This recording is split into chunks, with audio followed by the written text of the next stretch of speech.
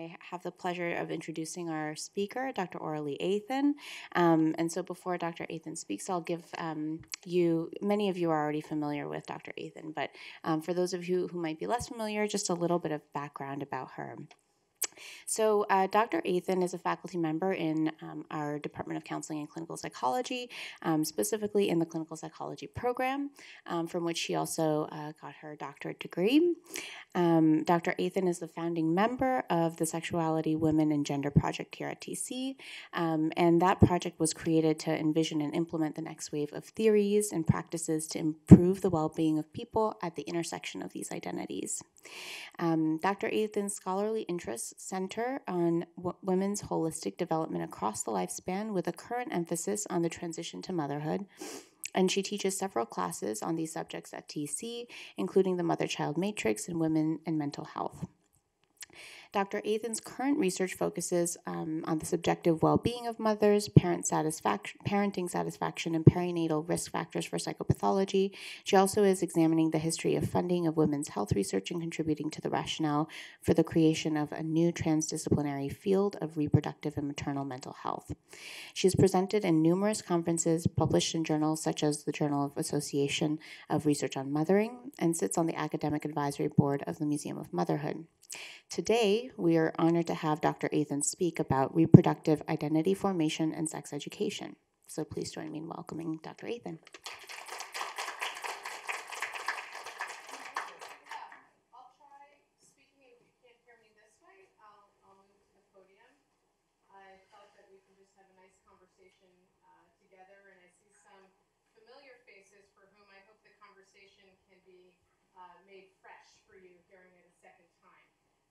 oversee.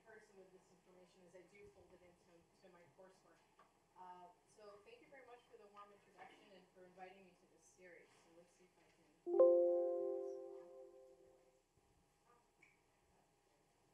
Okay, so just a little bit of an agenda. I'll skip over what SWG Project is in a moment, but I want to let you know that we do have a track um, then I want to tell you a little bit about my uh, work in maternal psychology and how that led me to reproductive identity formation and bringing it earlier on in the lifespan. Uh, I think the origin story is always really important. And then I'll tell you about reproductive identity, uh, the theory that um, I'm developing also with my colleague Rudy Sandel. And then how could we apply this in the sex education space if that's where it should be. I'd love to hear your ideas where else you might be able to find this. So um, you already heard about Sexuality, Women, and Gender Project. Here we are. If you see us in the hall and you'd like to hear more, um, please, uh, please don't hesitate. This is also our website. And we fill the gap just on campus in terms of other sister organizations in the Columbia University universe so that we can also examine these topics and really awaken them up. And I'd like you to know that in many ways, until the formation of this project, some of the coursework did not even exist. So LGBTQ mental health, um, maternal all of these things, some may have been there and went dormant. So we really see ourselves as both filling curricular gaps, maybe reawakening things that um, uh, are unfinished business. So who am I? I think the best way to get to know me is through my conceptual lens. I am a clinical psychologist by training and really focused on the psychology of women and gender, which would be like the APA division. But I always had a lifespan development perspective. I really like to look at the life course as it unfolded over the life. And um, I didn't know at the time there was something called reproductive psychology. Really isn't. It's just a subfield of health psychology. Uh, I came to become a reproductive psychologist. That's now what I call myself more than a clinical psychologist. Uh, I also studied spiritual development. Boy, did that come from left field. Do you think I'll, I'll help you integrate that in a moment? But, but certainly as a clinical psychologist that really um, is on, uh, in the way of normal psychology would be the undergraduate word, and looking at di- diagnosis and psychopathology, I was also very attracted to the burgeoning field of positive psychology, not only in learning about what things when they go wrong, but also what are we getting right and marrying the two. And of course, feminist theory is alive and well in the background of how I, largely because many of our models have been um, male models uh, throughout historically. And so thinking about how some of these models may be limiting in terms of how they describe um, diverse experiences is important. Sorry for the picture again, it's the only screenshot I could do, but uh, the way that this came about for me in terms of education and why sex education is for me the next frontier is because it really started with awakening and creating courses here at the graduate level. So we had the first class uh, nationally on matrescence, which is what class will be renamed uh, moving forward, and I'll explain what that is in a moment, and reproductive mental health. Um, there's a lab as well where we do research, and then of course there's a way of kind of collecting all of your training and turning it into a certification as the world is awakening to maternal mental health and maternal screening and looking at the roots of distress of reproductive life. They're going to need someone to refer to, and that's often the problem. So I really encourage you that if you're sparked by anything that you hear today, that this is a new, uh, an opening field, much like um, you will also have a job if you enter geriatric mental health, as we have the baby boomers uh, aging.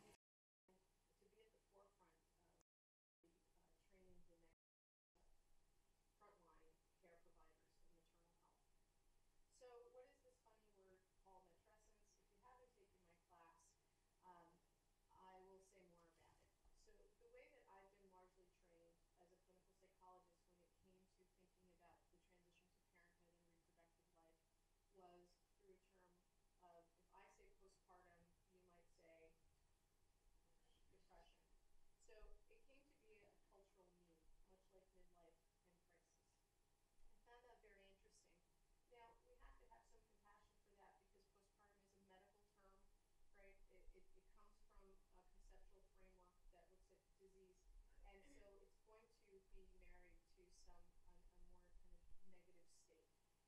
Uh, thankfully, that has also evolved since the time of my training in the decades that have now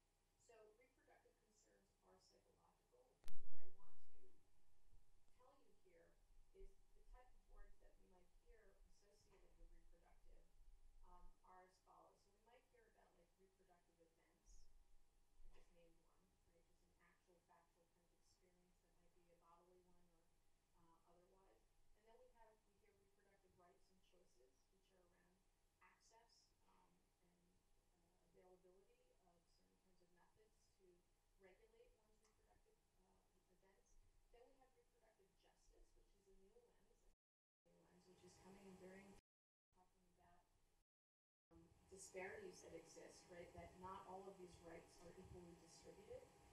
Then we have reproductive decision making, which is kind of not really a word out there, but it sort of is, which is saying, well, how do I know what to do with my experiences and my access to things, um, given that uniquely different set of problems than my, my next door neighbor. And so what I'd like to introduce is a new concept of reproductive identity to the story. And before giving the whole story away, um, I will, I'm gonna walk you through what a reproductive identity model, uh, would look like. And by virtue of any identity model, we know that it's developmental. We have identity formation. We know that our identity is a lifespan experience that is shaped over time, is fluid and changes over time. Um, history affects our current identity, but we can also look ahead and imagine our future possibilities, and so on and so forth. So that allows us to really not necessarily segregate who gets to have a reproductive identity, both in terms of the age, but also in terms of other, um, other demographics, including, let's say, gender. And I'm gonna open that up, so I wanted really to make, um, a reproductive conversation to move beyond, I think, the limited ways that we talk about reproductive rights currently, that might sometimes also be contradictory and uh, conflicting. Testing, testing. One,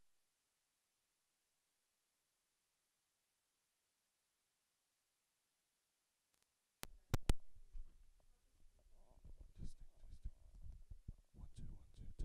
testing. Testing, one, two, three.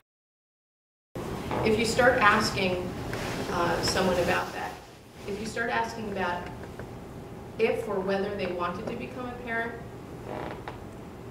if so, yes or no, or everything in between, when, the timing of when that happened, and how, how did it go down, right? Who was around? Um, what were the supportive structures? What were the actual events? Other, how is a more complex uh, notion that the roots of their distress could be located in this sort of if, when, how paradigm. And that I did notice that there was often a lot of ambivalence and incongruence in all of those things. And ambivalence, as they say, is a hallmark of parenting, so we have to get used to it as early on as possible because there are so many sort of coexisting um, and possibly unmetabolized you know, things that we're not aware of that, that are happening. So in my class, when we would talk about preconception, so we kind of walk through the arc of going through the parenting you know, experience. During the preconception piece, um, in order to prepare them to do proper preconception counseling, and I'll see what that means, uh, and that's a new term as well, and I just want you to know that preconception is often simply put in terms of taking folic acid or uh, you know going to uh, prenatal visits for, for a pregnant woman to really talk about psychologically when you start to invite the conversation of mobilizing your reproductive potential, do you know some of these answers to these questions? Can you start to even think about them? Mm -hmm. So typically, if I ask my class something like, do you know whether you would like to become a parent one day? Which is, I think is a trick question. It's certainly a loaded question because of how I phrase it. Um, they can keep it to themselves yes, no, or maybe. That's not what I'm really after. When I ask them after a follow-up question, which is how, do you remember why you know that? Or how you came to know that? I usually get zero hands. So, for those who don't want to, sometimes they have an answer. But for those who do, they very rarely do. And even for those who are already parents, sometimes they cannot articulate.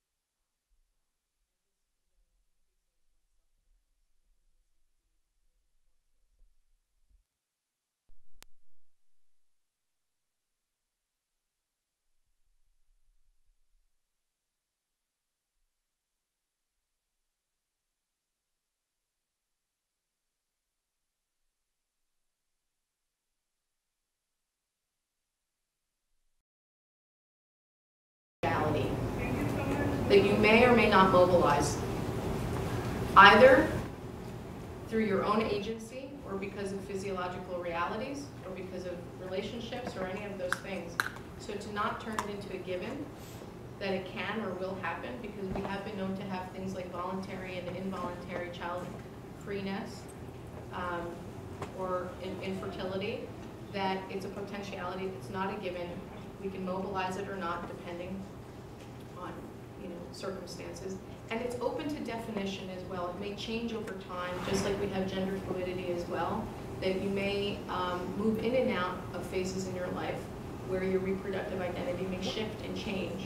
And by the way, that will also shift and change how others perceive you and how you're perceived um, and how you perceive them.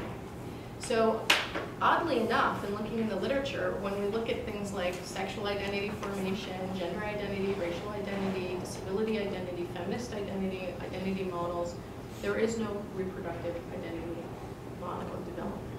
Um, we have had a historical decoupling of sex from reproduction, which we understand, and it's not the subject of today, but there are um, historical um, positive reasons, for example, being able to talk about sex and pleasure without talking about reproduction, being able to also talk about sex and, and non-heteronormative sex as well, um, and reproduction being part of that, and also to remove the maternal mandate, which often was the case if you're a woman, you're a mother.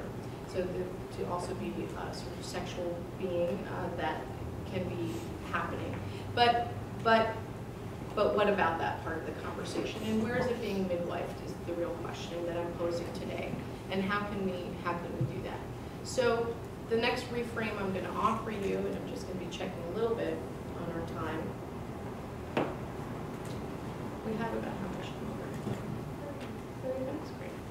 So, in terms of a lifespan approach, and you'll have to bear with me, but all of this data is done on uh, women's bodies because the data isn't on fertility data is not taken and really um, uh, is not collected from anyone else and only just recently.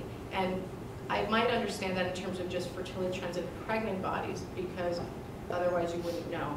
Perhaps if you fathered a child or um, the adoption, the adoption statistics are available, that's another, another conversation, okay?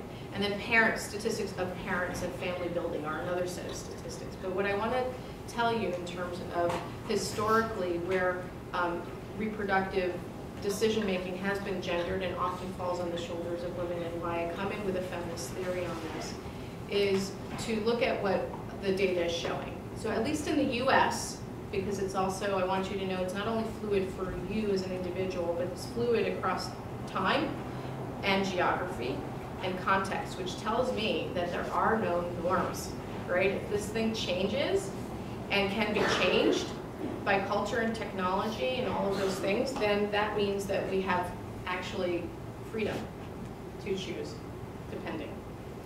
So US women on average want two children. They spend three years between pregnancy, um, trying to get pregnant, postpartum period. Um, they will spend nearly three decades trying to avoid an unintended pregnancy. And so more than three quarters of their reproductive life is, is squarely in reproduction, either avoiding it, the mobilization, or mobilizing it.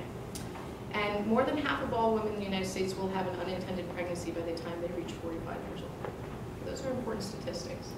And so how do we help um, someone navigate this, especially if it's going to be for most of their life? So how, you know, across the sort of, this is the bell curve of ages, which I'll, I'll let you know in a minute, how do you start to find what is just right and who determines that, right? So we're trying to turn it person-centered, actually a really important New York Times article came out recently around the use of IUDs uh, as a poverty cure, I really recommend that. Moving kind of reproductive counseling, which means contraception counseling, into person-centered because a lot of times we bring our own cultural values to who we think should and should not reproduce. So, and also how many and when. So we also have stigma around, let's say, um, adolescent pregnancies or um, far too older mothers. You know, there is a way in which society does want you to have it during a certain time. So how do you even begin to think about that for yourself with all of those external pressures? So we, most of the time, only talk about it with extreme ends of the spectrum. Something to think about. But really, unintended uh, pregnancies, just as a kind of focal point, um, only because that's the only data we have uh, around fertility, is that it happens across the lifespan, and unintended pregnancies happen throughout. Of course, the proportion uh, happens mostly in 15 to 19 year olds. You're going to have about a 70% rate, depending on where you are in the country, uh, which tells you also just about the nature of the adolescent um, mind and education and all of that. But in terms of sheer numbers, actually, the largest number of unintended pregnancies happen in the 20 to 29 or the 20 to 25 year range. So it's, it's less about actually high school that you got to worry about in one, in one sense. Do, because the proportion is so high. But the sheer numbers is when actually, um, particularly for a woman, they move into uh, more greater independence, more sexually active, having sex more frequently with more, more partners. And that's usually around the time that that happens. And then later, as you, as you wane out of the reproductive window, there's still uh, unintended pregnancies as well, right? There, you, you may be one if you ask your, if you ask your parents, and that's also very important. Many of you may not even know um, the reproductive decision-making uh, or non-decision-making of, of your parents. And of course, we also want to take this conversation out of just planning um, and also bringing in the word wanted. Unintended pregnancy, another great article in the Times just came out, um, I think yesterday, on a pregnancy, whether you want it or not, is also a very important thing Unintended pregnancy means both mistimed and unwanted births. As you've noticed, mistimed has a much different um, uh, spectrum than unwanted. unwanted usually is lower, so you can have an unplanned wanted child. Uh, you can also, and I'll show you why my research opened this question further for me, you can also have a planned unwanted child. So that tells you a lot about the incongruence and ambivalence psychologically of what might be operating. So this is a life course discussion. It often only talked about in the extreme spectrums, but really um, we need to know about it in the critical period as we enter the reproductive window, um, again, as we're moving into peak times, and then as we also move out. It, and this is just showcasing you that actually the sheer numbers um, are, more interesting when we get into emerging adulthood. Okay, so one is just right. So this was the New Yorker cartoon that I had to put in 2017 for, for particularly this group. Again, you know, different groups have different different sets of concerns, but when is the right time? And I actually have a lot of students that come to me uh, asking how to navigate their education and professional goals with uh, folding in family formation, and is that possible? So, um, do you do one first or the other? And culture will dictate, values and norms will dictate which is more important as well and what should come first. And also, we need to think about the invisible structures that a particular society may or may not provide, visible and invisible, in being in allowing the co-participation of family and professional development, meaning universal daycare, right? Things like that, family leave policies. Uh, how you think about whether you can do both at the same time is not only your individual problem to solve, but might also be the government and the states. Another great article in the New York Times recently, uh, talking, or no, in, the Atlantic maybe, which was saying that in Italy, if a woman's feeling stressed out about um, career, you know, work-life balance, as they call it, um, she blames her elected official. And in the states, we feel our, uh, our, our perhaps our personal inadequacy in not being able to manage all of those things. So we really have to think about um, where are these givens and norms coming from. They're really quite dictated. Um, so I'm going to give a very quick brushstroke through the data to show you, at least in the 21st century where we are now, what is happening in terms of fertility trends so that you can see what's happening. Local and global statistics as I see them, just like an anthropological lens gets you out of your own um, way of knowing. It can help with destigmatization, seeing how other people are doing it, very important. Um, and it can also take this personal story out into the population level to see what actually the human population is doing. And so I'll give you the uh, cliff notes right now because we might not be able to make it through. But the fertility trends that are happening are that we actually have a declining teen pregnancy rate of about 50%. Historic drop. Um, I'm not going to give away why that might be happening just yet. The other thing that we have is an upward drift of delayed entry into childbearing, otherwise known as postponement, which is affecting both sides. We have both um, less younger mothers and we have more older mothers. Where do we locate ourselves? And then we have disparities for the marginalized in which, depending on where you are and who you are, you buck that trend. Might be happening differently for you. So I just want you to look at the red and the blue lines that are in a, in a light, the gray circle, and you're going to see that's exactly right. 15 and 19 year olds, they're declining. Traction effect rate, and then we have going up, we have the um, 35 to 39 year old. So uh, in my class, we talk about being in sync or out of sync with your peer group and your culture, right? And um, depends, you know, I give an article that was maybe in the 90s and it says, I feel out of sync. Uh, I had my children when I was 30 and everybody was doing it younger and a lot of my students in my class go, wait, that's the norm. Everybody's doing it now at 30, right? Which shows you, no, that wasn't always the norm. The norm is changing. But that's the general trend, okay? And that's, again, what, what you're seeing in terms of um, increasing numbers, decreasing numbers on, on um, the left-hand side, increasing on the right.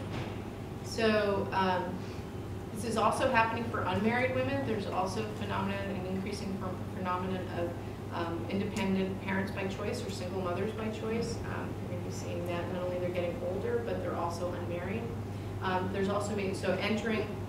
There's an increase in those statistics in terms of um, uh, traditional, conventional family structures that we see are, by the way, so outdated in every way. Um, no one's uh, having the, the, the traditional, uh, 50% of folks are not having a traditional family building experience as we know it. So many enter into parenthood without, without a partnering, you know, uh, and, and others also then leave through divorce, right? Either it never happened, and others are choosing by choice also to have a planned uh, uh, single parenthood. So it's really changing. And others, and also we have same-sex couples coming into the picture and everything in between. So postponing or dropping out, uh, what's happening here? There is a global decline in teen pregnancy, not just uh, local. Have some statistics there. I won't stay too long on each of these, but I just want you to hit that point, okay? Um, it's happening for all of those 15 to 17, 15 to 19, 18 to 19. It's even more than that since this uh, data has, uh, since 2011. And um, it's happening at the same time, pregnancy rate is going down, birth rate is going down, but abortion rate is also going down. So when we're talking about um, fecundity and live births, right? Pregnancy or pregnancy, we don't know if they end up in viable births at the end. That's a different set of statistics. It's also happening for different groups differently. That's the reproductive uh, justice piece that we'll go back to. But on average, everyone's declining. And also the, the Hispanic community is moving down the fastest. But it depends, because then if you go into New York City, we're going to show you some other statistics. So let me see if this is worthwhile to go through. Yeah, they're all dropping.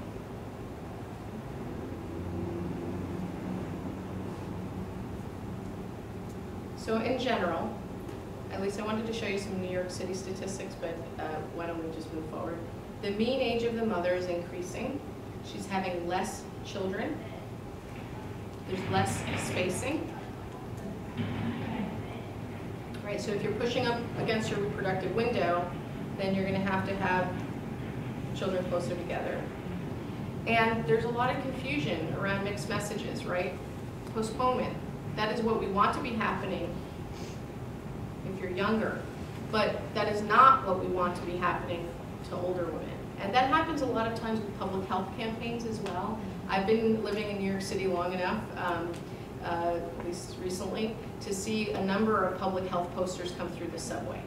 So I remember one that was something like, you know, in a nutshell, if you have a teen pregnancy, you're going to lose, you know, X amount of uh, income and professional development. Um, don't do it. And then we have another public health announcement that comes with an hourglass that says essentially the biological clock tick-tock is running out and you have to start thinking about your fertility. Based just on the um, facial reactions of my audience here, uh, you, you do reflect the, the, the, the public um, backlash that happened with both campaigns, which really stigmatized and or seemed to intrude on the reproductive decision-making of a person that really, at its core, I think ultimately wants to be a human freedom and a human right to, to make those decisions for yourself and not to have anyone sort of dictate or intrude uh, any of that.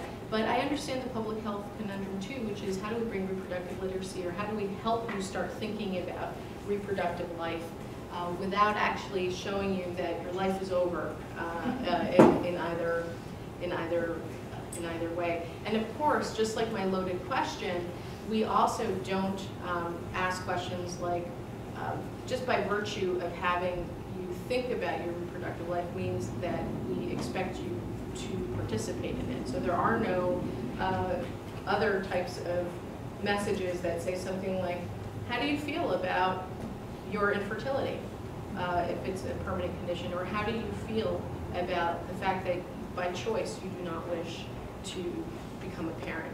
because there's just as much loaded stigmatization around those conditions as well for infertility, but also those identities. So the point of the 21st century landscape to let you know right now is that the right time for um, someone living in a particular context is reflected by his history and geography, as I've mentioned that. And the largest um, trends, the largest drivers of these trends are as follows. Gender empowerment. Anywhere in the world where uh, educational um, and employment attainment happens to girls and women, the fertility rates go down. And anywhere where access to reproductive, um, both contraception and conception aids, well, it's, in the case of contraception, they go down in reproductive services. And then also reproductive technologies. You may know someone in your life, an aunt perhaps, who um, in the 80s was not going to be, did not have children for the very fact that there were no reproductive technologies, even if she wanted to become one, to allow that to happen. Um, and or even social norms that might have allowed her to pursue, um, you know, to have an, an agentic choice to, to mobilize her family in, maybe through adoption or through, um, uh, through, through reproductive technologies or, or surrogacy. And then we have the diverse family building. So that's really changing everything. And I do want to let you know a little bit about the declining fertility uh, rates globally. How are you doing? 15 minutes? Um, including questions or? Yeah, that's what I thought. Okay. So what I want you to know is that this actually reflects an overall trend globally. And what the teens are doing, where normally we often stigmatize them, what are those teens doing? They're reflecting adult. They're mirroring the adult world. Adults are declining in their fertility, and the teens are doing it twice as fast. So in a way, I want you to think about them both as they are listening and watching what we do. They're also might be doing it a little bit um, better at sometimes in terms of they might be leaders or agents of change, right? Many of them are doubling up in contraceptions. A lot of the girls are using both, um, you know, their own form of birth control and condoms. That's what's being shown. Also, by the way, maybe it's teens are not hanging out in body with one another. Embodied, they're on their technological devices, so they actually are not engaging in actual, um, at least in heterosexual uh, contact that would lead to pregnancy. And that is another potential thing that's happening. But also, we have the other side of the spectrum where we also do have women who are talking about um, increasing rates of infertility, who are talking about pushing up the reproductive window in the other side. So the postponement sort of gear may be getting a little bit um, over in overdrive. So we have to think about that. If you're opting in, so I always want to talk about the opting in, and we're going to talk about the opting out a little bit too. So they're mirroring the larger trends. We're in a fertility decline, not in a population decline. That's different. We have concurrently both aging folks on the planet living longer at the same time as we have um, less new folks being born. And we know that that has ec economic impact. We know that's happening in Japan. We know that's happening in, in the Mediterranean as well. Um, without, you know, here's just a quick statistic, at least in the U.S. Um, and if you, there's a couple, go to Our World in Data, and these are um, fancy data GIFs, I guess, that move. And so you can see how it's happening in time. But what, let's say, um, certain areas of the world, it might have taken 100 years, let's say England and the US, I think they have in, in, in one part here. Uh, uh, yeah. I won't take the time to point you to it, but go, go to this um, data source. Uh, to get, let's say, each family um, to move from, let's say, an average of six children to three children, that's now happening rapidly in other places in the course of just a decade.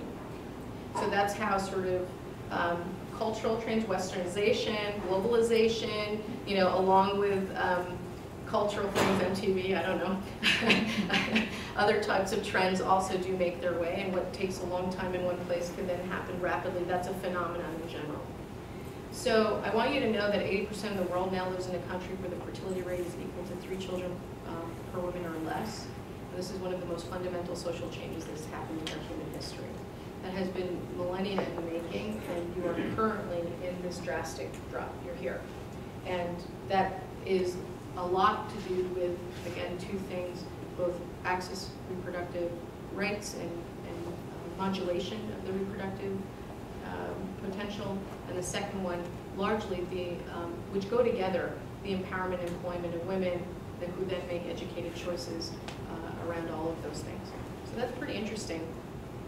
So I hope this has confused you about where are you, um, or rather, I hope that lets you know that you may be also unconsciously mirroring uh, global trends in ways that you don't know, or of cultural trends of your particular community or peer group that you don't realize, and to sort of pitch you out and start to have you think about if, when, and how for you. Um, we talked about the driving forces, of course, economic. Uh, people don't don't um, have children when there's a contraction. Uh, but still in all, there is still a gap between wanted fertility versus unwanted. And that if you were to ask these folks over time, they still have more children than they would like. It's interesting. So this idea of wanted and desire is really where I want you to live uh, a little longer and think about your desires around that. And it's not only future, it's also retrospective. So if you've had children or participating, thinking about with each pregnancy, what were those constellations happening? Um, so, yeah, fertility rates are high when female social status is low. We already said this. When an average year of primary schooling grows from zero to six years, fertility should decrease by 40 to 80 percent. And here we have trends again. This is really great data. And also what happens to fertility as women enter the labor force. Now we have also just a whole host of new uh, reproductive technologies. And there's obviously an inverse relationship between fertility and rate of contraceptive use. Um, so in terms of sex education and how does this tie in, a lot of sex education around reproduction, I'll let you know in, in a moment. Um, okay, let's get you there. Okay, this is what I wanted you to think about. These are fun little stat. Um, I'm going to move us through. Um, more later. Determining the right time, we've talked about that. Uh, but here the ambivalent, the hypothesis that I'm sort of pitching forward is that educating around contraception, what are the options? Increasing access, in other words, having it within arm's reach, uh, safely, does not solve the problem because internally, how do you know which one to choose? Or the conundrum, I don't want to use the problem, the conundrum. Because how do you know which one you want to use? If you don't sort of kind of understand those things. And really, likely we're all mixed up. If I want to, when, how. Um, also, again, that means in terms of what the family is saying, what the peer group is saying, what the partner is saying, what all of those different um, things are happening in any kind of family building experience, it might not be so straightforward. And actually our rates, at least when we're talking about pregnancy in the United States, are 50-50 at best. The ambivalence shows it. It has a very hard time moving that needle. Uh, we've moved from 51%, 49% planned, unplanned, unintended pregnancies rather, into maybe about 47, 48%, uh, regardless of all these improvements. It, ha- it has helped really for the team. Overall, unintended pregnancies are about 50-50. This is a little bit of a graph that I pointed to in a moment, that we can have these coexisting or competing um, ideologies inside. Um, but I wanted to let you know just a couple of interesting things about contraceptive use and uh, around that is that um, kind of talked about a lot of them are wanted, but um, of the women who have reproductive age, six out of 10 report using contraception, four out of 10 do not.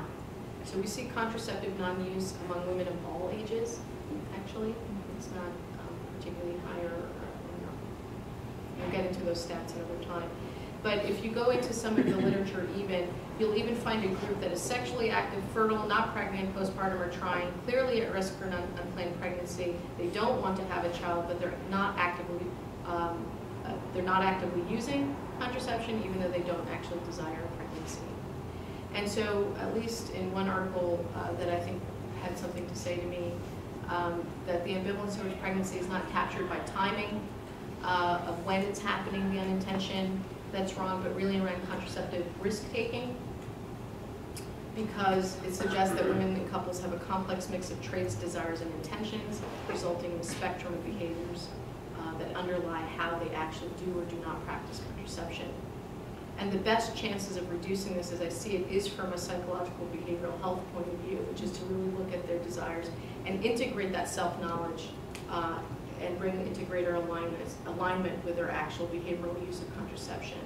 So this is based on discordance theory and um, cognitive dissonance, and we also have seen this in other places. For example, a conflicted sexual identity has been tied to inconsistent co condom use and HIV uh, prevention in some in some studies. So thinking about the, the more sort of we are um, in congruence with our identity and our, and our self-awareness around what that identity is, the more likely we're going to behave and choose uh, relationships, you know, uh, technologies, all of that that are in alignment. So um, I hope I've made my case as a psychologist. Um, I will end there, other than to say that um, with one minute left, that in terms of sex education, the chances of us getting into it, but we are, we're training sex education, health, sexual health educators right now, is we looked at all the curricula that were out there that they were using in New York City. And I want to let you know that sexual health education is just one slice of the health education pie. So that when a student uh, comes in, they might get only one semester in middle school, one in high school of sex education, um, of health education, and even in that, they have to cover a lot of topics. Um, they have to cover a lot of topics like hygiene, right? All sorts of other um, health health concerns. And then even within sex education, we have to do gender identity. We have to do, um, you know, everything that are the ingredients in here. So where are we going to put this missing ingredient? And most of all, what I want to do is make it not fear-based. So just like we've started to talk about pleasure and consent, um, positivity in sex, uh, consent in sex, inclusivity, LGBTQ, right? Same thing, we want to talk about intent, like consent, not just prevention, intent, intentionality. We want it non-fear based, so talking about also the pleasures, you know, and, and pains, um, and to make it inclusive. And I just want you to know that in general, if they are going to be talking about parenting in the sex education space, historically, it's done often through you know, carrying that little proxy around whether it's an egg or a dog. And I, I, I think ultimately it is to show you how hard it is. So that's kind of a, prevent, a preventative method. So we're here to fill a curricular gap. Wish us luck. We have uh, uh, fellows coming in every year to take this training on reproductive identity formation, and I'm open to questions. We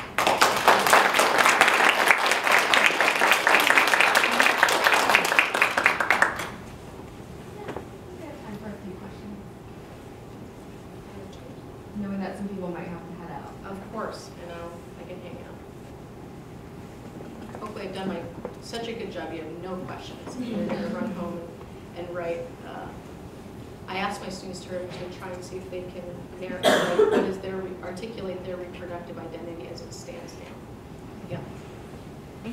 Um, so you were talking about how society can some society can sometimes shape what time people decide to start having children. But I'm curious to what extent you think some people's choices are made by science. Like for me, um, friends in medical school and just the knowledge that the longer you wait, the more you increase uh, the chances that like your baby might have Down syndrome or that there might be uh, developmental disabilities. And earlier, I know just as a as a person that you're working on emotion regulation, like there's there's personality traits that might make you less ready. So I, I like to think that sometimes when I thinking about when I would want to, that it'd be informed by both, but do you think that society plays a bigger role than maybe the foundations of science and research that we have? Well, you're, you- you seem to be literate, you know, to have literacy of reproductive sort of biology and, and, and sort of facts, and that comes with education.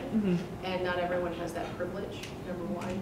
Um, number two, I still actually have people know, how do you know you know that? Because even the data uh, of how reproductive, um, the reproductive life cycle happens is uh, probably stuck in the forties. Probably the samples that they use um, Wow. are not entirely um, optimal. A lot of the recommendations that they have come from maybe like a French population, you know, a certain uh, sample size. How do they know? I mean, another great NPR piece just yesterday, uh, because it was Women in Science Day, um, is that uh, we still don't know how the cervix works. In the uterus in Columbia right now, we still are stuck in the 1940s. It took female scientists to come in and actually look at literally the structure and why why some have um, uh, miscarriages or not. So please be informed. Absolutely, I think it should be absolutely based on education. Though, as we know, uh, values and norms and and pressures uh, can sometimes, you know, uh, you know, counter the Yeah. science. At the same time, the science, and that's why I'm trying to drive, you know, conversations around funding in, in women's health, is that the science may also not be entirely um, robust. Yeah. Thank you for the information. I think you spoke a lot about the social norms and the cultural norms. And I'm thinking back uh, from where I am. There's so much, the, the gender is such a huge piece when it comes to having access to uh, contraception and having the desire because it is so much dependent, a woman's body is often, you know, so much dependent on what the family wants, what the spouse wants, and there's so much violence in relationships and there's so much inequality that oftentimes the control is through pregnancy. So there's a whole piece, and I'm glad you're working on the curriculum because there's a whole piece that, that needs to go in on gender and violence and how that for so many people is an issue. And then from, I'm from Pakistan and so there's so many misconceptions about contraception and still they exist and there's this belief that you know, this is to control our population, this is to control the Muslim population, and there's so many misconceptions a lot of women and couples are not choosing contraception. they end up having pregnancy and then they go for unsafe abortion. So there's this whole cycle of those dynamics, the politics around the issue as well. So it becomes more complicated. Uh, it goes beyond the just the autonomy a woman has over the body. So it's very fascinating to see that you know there's a discussion which is maybe at a different level, obviously because of different dynamics, but that is a huge piece for us in our families. Absolutely. Um, what I will say is um, we struggle with and also purposefully put it into agentic language, um, into empowerment language, knowing how disempowering and often powerless uh, women can be can be in terms of making those decisions. Um, but it's it's all the more necessary for that to at least bring it into agentic language, even knowing the constraints. Number two, um, another New York Times article, Population Council, if you want a sex education um, free curriculum, which is very powerful, is done by the Population Council, and they have shown in their own data too that gender empowerment is the way into to that conversation. Um, but again, like you see, those are, by the way, those are reproductive identities. I didn't ever use the word ideal or normal or um, anything. So, in fact, and I don't, someone very wisely in my own advisory board said also reproductive identity is not an individual identity, it's a community identity. So, in some communities, right, the reproductive identity, if there's a teen pregnancy, the community rushes in and supports. Mm-hmm. In others, they run they run away. In some reproductive identities, it's about having a multi-generation family with spacing of only about 15 years, right? Of 20, you know, maybe. And and in others, it's you know you never get to see the next generation. It's so widely spaced. So communities, even if they are troublesome to you, you know, um, it is an identity. That's what they're doing. It, that's the shape they're in. And then we can start talking about, if we place it in that way, that's the shape you're in, then you can start to think about how do I want it shaped differently, differently, do I like the shape I'm in? And by the way, one of the most fascinating um, facts that I came across. I don't want to give an actual statistic because uh, I don't have it memorized. But the rates of sterilization, uh, I thought were going to be higher in males than um, women. Actually, the highest users of sterilization are females, chosen by female. Well, again, coercion, that's what we talk about. That's why the IUD is poverty cure, long-lasting reproductive interventions have a, uh, a, a, long history of also being discriminatory. Um, so we have to think about where that comes from, but some women themselves are choosing sterilization as the only way uh, to protect bodily integrity around reproductive life. So, or and or they finished having their children and now, you know, they really want to end that cycle. So it looks like. Yeah, I just learned that uh, there's another group coming in, so I just want to give a final Just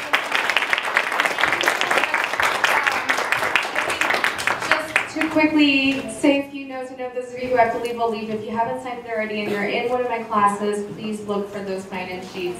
Um, just to sort of wrap up, um, we have two more CAMHP talks already for the rest of the year. The next one is actually myself and Dr. Cha will be giving an update on our research um, studies, including the research study in suicide prevention um, that is related to these Brown Bag series.